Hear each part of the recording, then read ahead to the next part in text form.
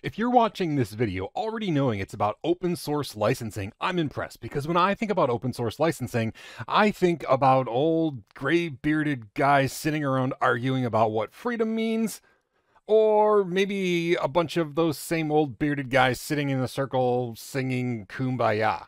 Free software, my friend, free software. And I'm not gonna lie, there's a little bit of that in there, uh, but there's more to it, thankfully, and that's the stuff that I actually want to cover today. So, when we talk about open source, you probably already know that it's more than just licensing. Open source is this big philosophy regarding freedom. It's freedom to use code, freedom to share code, freedom to modify code, all of those things are part of what free software and open source software really means. Now, there are licenses involved because that will dictate what you can and can't do with a particular bit of source code for a program. And the term that they've kind of coined for this concept is called copy left. And it's copy left because copyright means you can't use somebody else's stuff, but with open source, you can use somebody else's stuff. So it's copy left. See how clever that is? Anyway, the whole idea of copyleft and open source licenses all come down to freedom, like I talked earlier. In fact, there's two acronyms that you've probably already seen, even if you're not involved with open source. FLOSS, like for example, I'm often on the FLOSS weekly podcast at twit.tv. Uh, this stands for Free and Libre Open Source Software. Uh, FOSS just stands for free and open source software. The difference is extremely subtle because they mean the same thing. The only thing is when somebody says floss, they're kind of emphasizing that Libre part, which means uh, Libre is not the it doesn't cost something part of freedom. It's the you can do what you want with it part of freedom. Uh, you've probably heard the term like free as in beer and free as in speech. The L is talking about the free as in speech, meaning that you're free to do things uh, whether or not you pay for it. But floss and FOSS can almost be used interchangeably, and now you know what those silly acronyms mean. And when it comes to free and open source software, there's two groups. There's the Free Software Foundation, uh, which you've probably heard of. Maybe it's that Richard Stallman guy started it, that image I showed earlier. Uh, this is the original. It's been around longer than the open source initiative. Uh, it is where GNU came from. Like if you've ever heard of GNU GPL, that's where that came from is the whole concept of uh, free software. And again, free software, they really emphasize the freedom as in freedom to do stuff uh, with the software. Then the open source initiative is very, very similar. It's, I mean, these are such subtle differences, and mainly the differences are just so that old people can argue. I'm not going to lie. Uh, but the OSI tends to be more business friendly, and it allows for more licenses, more permissive licenses, even. Uh, it's called the open source initiative, like I mentioned. But the the importance is really with the licenses that are allowed. The Free Software Foundation is pretty strict about what you can and can't do with licenses that it approves, and the OSI is a little bit more lax with what it considers to be open source.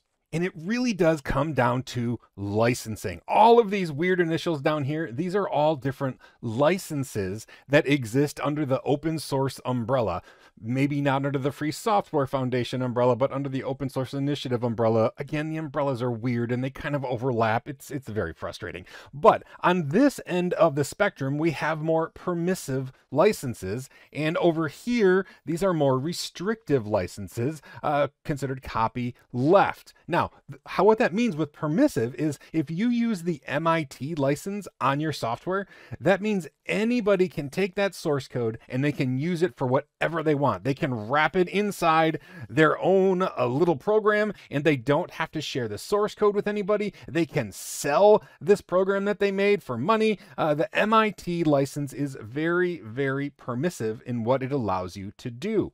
The ones on this side of the screen are very permissive, like the BSD license, the Apache license. This is actually Apache 2.0 license. And while the Apache license is going to be a little bit different than the MIT license, and it might have a few more restrictions, Same thing with the BSD license and the MIT license and the Apache license. All of these on this side of the screen are going to be more permissive with what you can do with the code. And then as you go this way, they get more and more restrictive. Now, what that means is when you get more restrictive, it means that yes, you can use the source code from whatever is licensed in like GPL2. You can use the source code, but you have to give away and make available any of the source code that you write that includes these uh, this open source code that you're using. So if you use something licensed in GPL2, you can do that. However, you also then have to release your code because you've used GPL2 code. So when you add to it, you can absolutely do that, but then whatever you write has to be available for everybody else to look at as well. So that's one of the, what we mean by more restrictive and copy left. Now, there are some middle of the road type of licenses too. Uh, for example, the LGPL3, this was designed originally for libraries. So if you use a standard library file that's open source in your package, you don't necessarily have to include all or release all of your source code you use these library files. This is actually renamed to a lesser GPL3, which is more information than you need right now. But the idea is that as you go like towards the middle, these things, like this is the Mozilla license, the MPL 2.0, uh, that's what uh, Mozilla uses for like Firefox and things like that. It's a little bit more permissive with what you can do with the source code. The moral of the story is it's extremely important to know what specific license uh, a piece of open source code that you're going to use is licensed under. And if it doesn't have any license attached to it, it's copyrighted. That's how things work. If you don't assign it a license, like you say, I'm not going to put a license on this, it's automatically copyrighted, at least in the US and I think many other places, but uh, it's automatically copyrighted. But then it gets a little bit strange because what if somebody takes a fork and and then you could you take your fork and then you take the the license off? It, it gets really really confusing. But it's important to understand what something is licensed with so that you know what you're what you're allowed to do with that code and also if you're writing code, you want to make sure that what other people might do with your code is what you want to have done with your code. For example, if you write something and then somebody else takes your code and they wrap it in a proprietary software and they sell it, and maybe the wrapping is hardly anything. Maybe they just compile it and like change the theme and then they sell the program that you've been giving away for free and they sell it for a million dollars. They get to keep that million dollars maybe that's not the license you want to put on your open source project because you're going to be shooting yourself in the foot. Maybe, maybe, that is what you want. Maybe you truly believe that what you wrote should be freely available for anybody to use for whatever they want, in which case there's a license for you there too. There are over 200 different open source licenses. It gets really complicated really quickly, and there's been tons of fights in the open source world and business world over uh, determining what you can and can't do with code when it's licensed in a certain way or another. It gets really messy really fast. And then are you ready for a little bit more craziness? What about stuff that is not software? Can we have an open source or an open license for something that isn't just written software code? Well, you bet you can. Uh, for example, photos, music, videos. They can be licensed under Creative Commons, which is an open sort of license for things like photos and music and video. And what you can do with this kinds of Creative Commons licensing, and there's various versions of Creative Commons licenses that allows you to do things like use it for whatever you want. For example, the image that I used in an earlier slide of like a person with question marks, uh, I was allowed to use that. I could modify it, I could use it commercially, I could do whatever I wanted because it was released with uh, Creative Commons licensing in a way that allowed for me to do anything I wanted with it. But some licenses that are common in Creative Commons are you have to attribute who originally originally made the photo or the music or the video. Uh, or you can use it, but you can't use it if you're going to sell it. Or you can use it, but you can't modify it. Like if that was a license on that image earlier, I wouldn't be allowed to put a smiley face on the dude. I would have to leave it just as I found it. So there are lots of variances to a Creative Commons license. So if you're going to use somebody's photo, music, videos, etc., you have to pay very close attention to specifically what is outlined in Creative Commons because just being Creative Commons doesn't mean that you can do anything you want with it. Uh, you have to look at the fine details.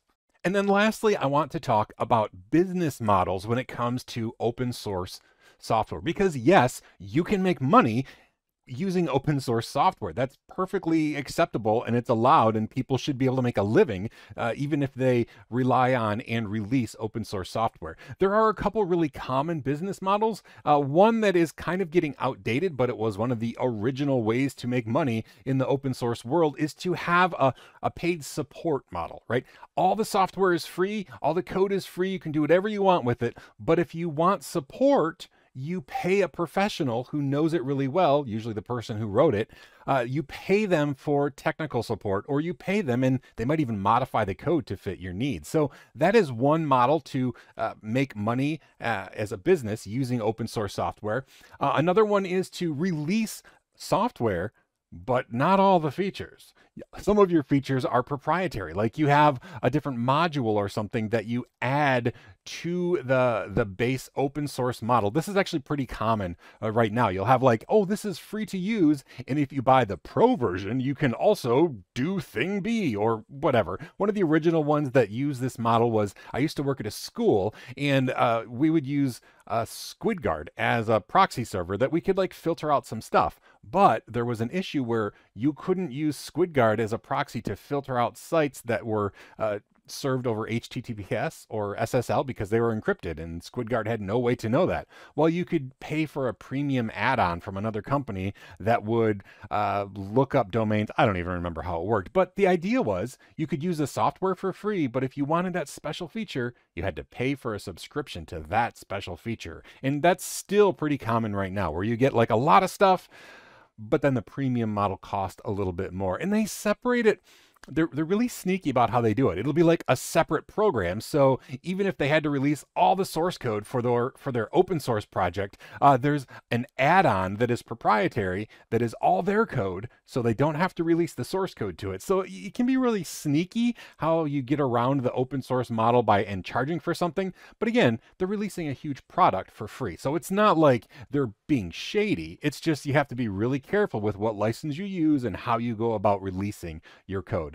And then, of course, there is the other model. I don't know if this is really a model, but um, where you give away your software for free, but maybe your software is a delivery system, right? And by delivery system, I mean like maybe uh, you give away your video delivery system, but the content is really what is important, and somebody's going to pay you for the ability to, um, you know, watch their content or or music or whatever it might be. And I, while this isn't exactly the same, I could picture like I don't know, maybe YouTube is open source. Maybe the YouTube video delivery platform you're watching right now, maybe it's open source. I don't know. But if it was, that would probably still be fine because it's not like I'm going to host YouTube in my basement. I don't have the bandwidth, I don't have the storage, I don't have the uh, programming front end knowledge, all that stuff. So a lot of times you can get access to software, but it's not going to do you a lot of good because you don't have the infrastructure to support such a thing. So anyway, there's lots of ways to make money using open source software.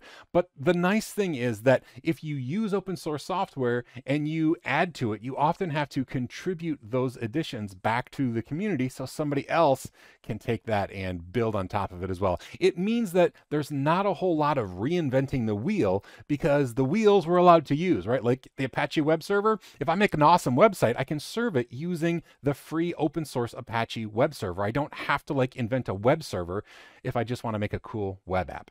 Anyway, that's the deal behind open source licensing, what it means, how it works, um, how it's cool, how it can be frustrating, and why old people with beards often fight about what freedom really means. Anyway, learn everything, do what you love, and be kind.